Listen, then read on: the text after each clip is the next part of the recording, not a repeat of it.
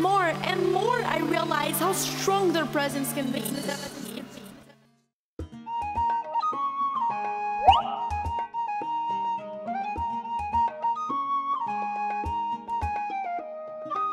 Mm-hmm.